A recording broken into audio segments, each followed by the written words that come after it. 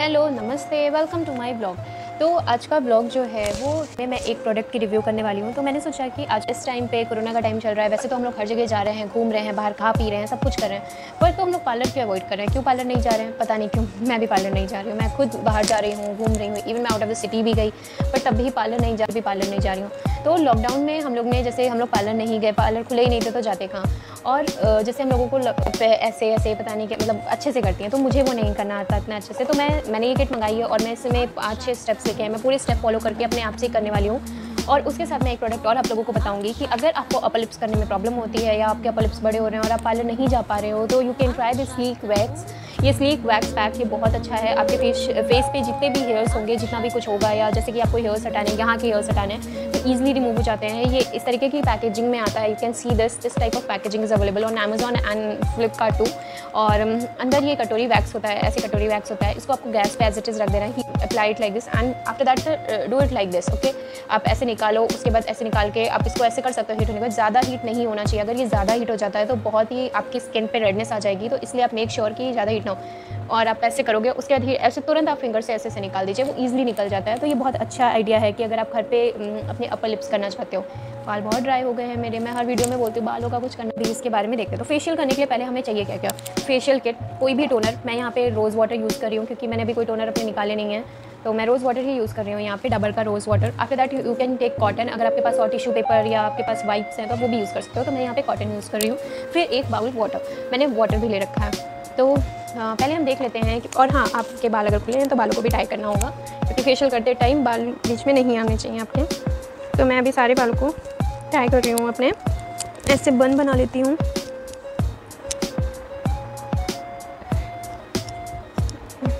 और फिर मैं यहाँ पे इनके क्लिप से ऐसे कर लेती हूँ। ठीक है? तो पूरे बाल मैंने अपने बाँध लिए हैं। तो अभी देखते हैं कि इस प्रोडक्ट में क्या क्या है। इस पैक इसमें क्या क्या चीज़ें हैं? मैंने अभी तक खुला नहीं है तो अभी मैं देख रही हूँ। आप देख सकते हैं, इसमें ये छः ट्यूब्स हैं, जिसमें स्टेप बाय स्टेप लगी हुई हैं। पहली ट्यूब जो है, ये है टोनर की। आप, ये टोनर का काम करती है। यू कैन सी ये जो फ़र्स्ट ट्यूब है, ये टोनर की है स्टेप वन लिखा हुआ है। एंड सेकेंड ट्यूब जो है, वो है स्क्रब सेकेंड स्क्रब है। उसके बाद थर्ड जो है, वो डिटॉक्स लोशन है। तो उसके बाद फोर्थ जो है that is gel that is a massage gel a massage gel and after that the fifth one is mask fifth mask है। फिर सिक्स है फेशियल मॉइस्चराइजिंग जेल तो जेल है, ये लास्ट स्टेप है। तो शुरू करने से पहले मैं अपने फेस को पहले क्लीन करूँगी कि कुछ भी मेरे फेस पे है कल क्लीन आउट मैं कॉटन निकाल के इसको अच्छे से फेस को पहले क्लीन कर लेते हैं।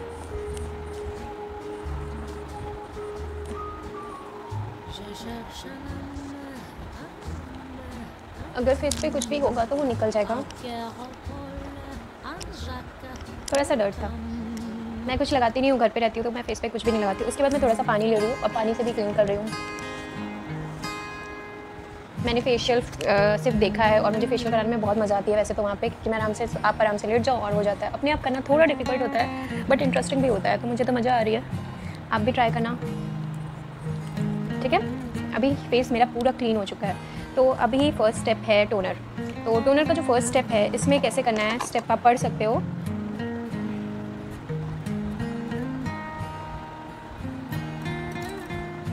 हाँ तो इसमें लिखा हुआ है कि टोनर में लिखा हुआ है कि, आप फ़र्स्ट टाइम पहले जब इसको करो तो आप फेस पे अप्लाई करो, उसके सर्कुलर मोशन में मसाज करो, उसके बाद मॉइस्ट कॉटन यानी कि भीगे हुए कॉटन से आप इसको रिमूव कर दो।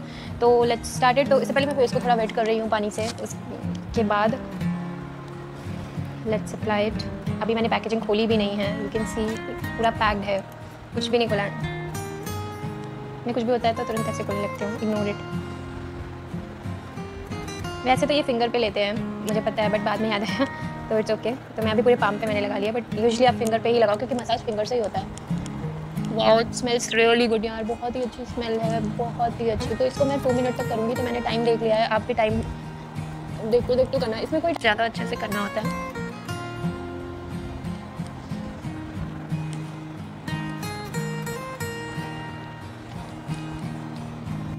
कर रही हूँ, इसको सर्कुलर मोशन में।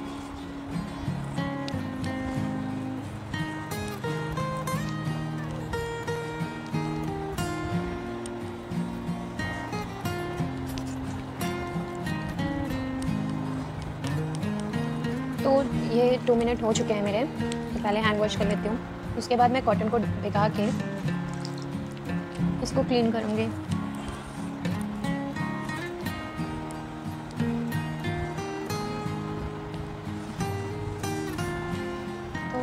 क्लीन कर लिया मैं एक्चुअली नेक भूल गई हूँ करना नेक को टोनर कर नेक भूल गई। जबकि आप यूजली जब हम करते हैं फेशियल तो हम नेक को भी ध्यान रखते हैं कि नेक का भी पोर्शन कवर करें। आपने देखा होगा कि आप जब वहाँ कराते हो कलर में तो नेक कवर की जाती है बट मैं माइक भी है मेरा माइक गिला हो जाएगा तो मैं इसलिए नेक को अवॉइड कर रही हूँ, और अगर कवर कर पाऊँगी तो मैं नेक कवर भी करूँगी बट आप करो तो आप नेक को भी कवर करो।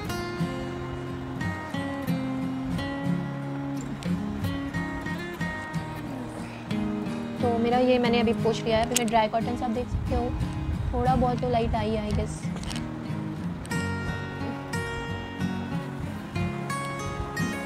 ठीक है तो अभी ये मेरा पूरा कवर हो चुका है, मैंने इसको पोछ लिया है। अभी सिर्फ़ टोनर किया है और थोड़ा सा ग्लो ग्लो तो लग रहा है। टोनर हो गया मेरा। उसके बाद आपका टोनर कंप्लीट हो जाता है। जब टोनर का काम हो गया मेरा तो मैं इसको अभी मैं दूसरा स्टेप करने जा रही हूँ, जो है स्क्रब स्क्रब में है तीन से चार मिनट तक स्क्रब करना है। दैट ऑन वेट फेस मतलब कि आपको अपने फेस को पहले गीला कर लेना है। अपने फेस को गीला करने के बाद तीन से चार मिनट तक मसाज करनी है, ठीक है? तो फेस को मैं गीला कर लेती हूँ पहले तो। ओके आफ्टर दैट ये देखिए, ये जेल फॉर्म में है, बहुत ही अच्छा स्क्रब लग रहा है मुझे तो इसकी फ्रेगनेंस भी बहुत अच्छी है। ओके वाओ बहुत अच्छी फ्रेगनेंस है यार इसकी तो। तो मैं ये स्क्रब जो है, ये मैं नेक भी कवर कर रही हूँ।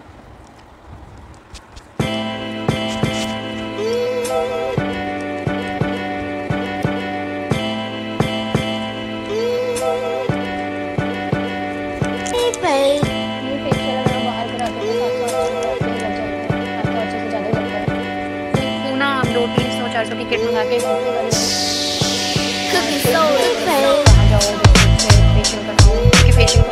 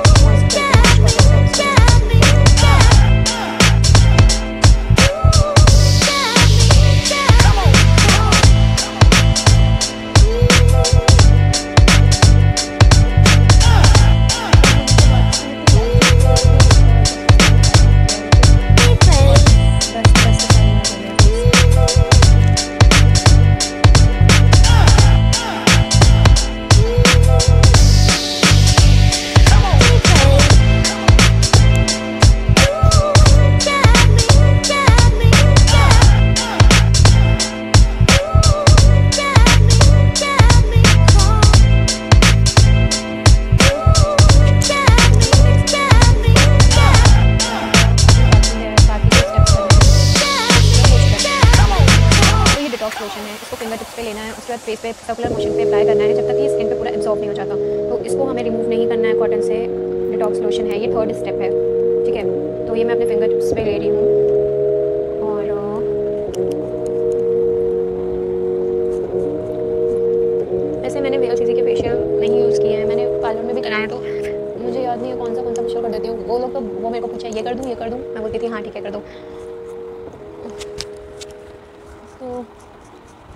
थोड़ा सा और लूँगी। इसमें जो क्वांटिटी है, ये सही है इसकी इसमें आप दो बार फेशियल इसमें आराम से कर सकते हो।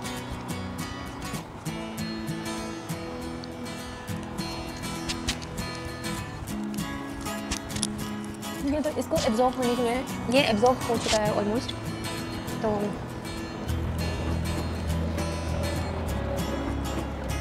ये अभी एब्जॉर्ब हो गया मेरे फेस पे पूरा डिटॉक्स लोशन अभी मैं फोर्थ स्टेप करूँगी। फोर्थ स्टेप है फोर्थ स्टेप आपका जेल है। इस जेल को अप्लाई करना है।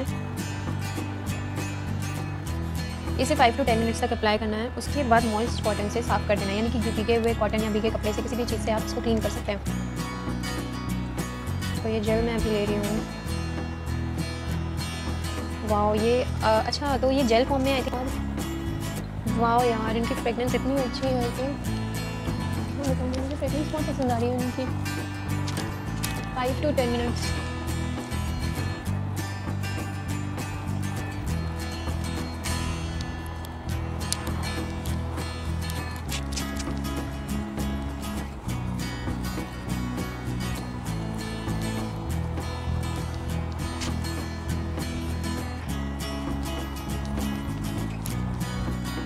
तो मैंने ये अभी अप्लाई करना शुरू कर दिया है।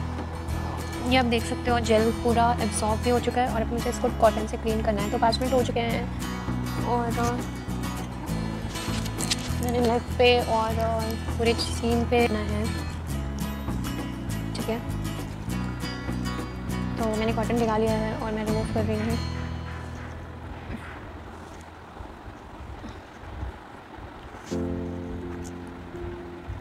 ये सारे स्टेप्स जो होते हैं, ये क्लीन अप के भी होते हैं। ये स्टेप्स क्या करते हैं कि जो डर्ट होता है स्किन पे, वो सब डर्ट को निकाल देता है। इसको सही ढंग से कर ले रहे हो तो फेस काफ़ी क्लीन हो जाता है। तो अभी आप देख सकते हो, मुझे खुद को इतना लाइट फील हो रहा है। मेरा फेस एकदम लाइट जैसे एकदम क्लीन हो चुका है। एकदम क्लीन है, कोई डर्ट नहीं लग रहा है तो काफ़ी क्लीन है।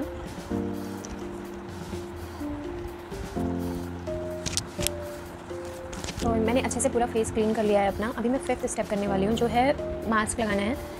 टेन टू फिफ्टीन मिनट्स इस मास्क को मुझे अप्लाई करके रखना है फेस पे। तो लेट्स बिगिन इट शुरू करते हैं मास्क लगाना। मैं फेशियल कर रही हूँ और अभी तक आईब्रो नहीं बनाई है मैंने। मैं रोज़ सोचती हूँ कि मैं आईब्रो कर लूँ आईब्रो कर लूँ बट आईब्रो नहीं करती थी बहुत। ये भी जेल फॉर्म है एक्चुअली सब कुछ डायमंड की जैसा ही है जेल फॉर्म में। वी में कई सारी किट्स आती हैं। टैनिंग के लिए आती है और ग्लो के लिए आती है। बहुत सारी हैं। तो आप अपने अकॉर्डिंग देख लो। आपको जो अच्छी लगती है अब वो किट मंगाओ। बट मैं वी एल सी सी के प्रोडक्ट्स मैंने यूज़ भी किए हैं तो मुझे आई ट्रस्ट वी प्रोडक्ट्स मुझे विश्वास है कि इनके प्रोडक्ट्स से के अगर गुड रिज़ल्ट मतलब कोई ऐसे रिज़ल्ट नहीं होंगे कि जिससे आपकी स्किन पे कोई इफ़ेक्ट पड़े। तो मैंने इससे पहले भी वी एल सी सी के काफ़ी चीज़ें यूज़ की हैं ब्लीच वगैरह। तो मुझे पता है कि उनके प्रोडक्ट ख़राब नहीं होते, इनके प्रोडक्ट बहुत अच्छे होते हैं। किसी दिन मैं आपके साथ ब्लीच का भी रिव्यू शेयर करूँगी ब्लीच भी करके शेयर करूँगी। तो मैंने पैक को पूरे अच्छे तरह से लगा लिया है। मेक श्योर कि आप आई के आसपास लगाओ, क्योंकि बहुत सेंसिटिव एरिया होता है। यहाँ पे लगने से आपके आईज अभी मुझे 15 टू 20 मिनट्स इसको रखना है। तो अभी आप देख सकते हो, ये ड्राई हो चुका है पूरा, पूरी तरह से ये ड्राई हो गया है। तो अभी मैं इसको कॉटन से निकालने जा रही हूँ मॉइस्ट कॉटन से। ये मैंने कॉटन को गीला कर लिया है और ये मैं इसको निकालूँगी।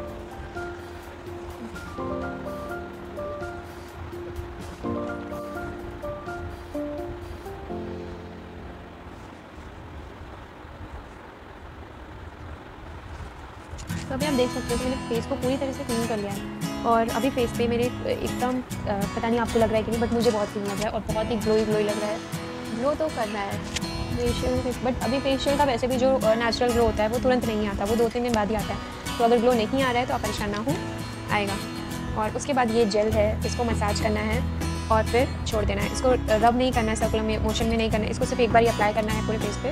उसके बाद आपका फेशियल कंप्लीट है। तो thank god this is in yellow एक्शर अब देख सकते हो, ये येलो फॉर्म में येलो येलोइश है। अभी तक के सारे वाइट वाइट थे। तो ओके इवनली लगाना है इसको। अब हर एरिया को कवर करके लगाइए। उसके बाद, हो चुका है। So done with my facial अभी कैसा लगा है आप लोग? सो मैंने इसको अप्लाई कर लिया है। मैं एक डेढ़ घंटे बाद अपने फेस को क्लीन करूँगी, अपना नॉर्मल प्लेन वाटर से वॉश कर लूँगी। तो मेरा फेशियल कंप्लीट हो चुका है। आप देख सकते हो मैंने फेशियल कंप्लीट कर लिया है पूरा अपना। मैंने सारे स्टेप फॉलो किए हैं। अगर आपको भी ये फेशियल करना है तो आप स्टेप बाय स्टेप कर सकते हो। मेरी वीडियो से अगर कुछ हेल्प मिले तो आप मेरा वीडियो देख सकते हो। और ये है सिक्स ट्यूब्स होती हैं। मैं आपको पहले भी बता चुकी थी, फिर भी बता रही हूँ। ये सिक्स ट्यूब्स को आपको स्टेप बाय स्टेप रीड करके वन बाय वन आप करो। आप बहुत ईजी है। It takes around forty five minutes usually आप अगर पार्लर भी जाते तो वहाँ पे भी फोर्टी फाइव मिनट्स लगते ही लगते हैं फेशियल कराने में। तो इससे अच्छा आप घर पर बैठो, आराम से करो फेशियल तो मैंने फेशियल कर लिया है। है so you soon bye bye and हाँ आप लोग प्लीज़ प्लीज़ लाइक किया करो शेयर किया करो कॉमेंट किया करो और सब्सक्राइब किया करो। क्या करो यार subscribe bye bye see you next